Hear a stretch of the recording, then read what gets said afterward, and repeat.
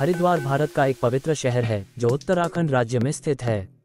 इसे हिंदू धर्म के साथ सबसे पवित्र स्थानों में से एक माना जाता है और यह गंगा नदी के किनारे स्थित है।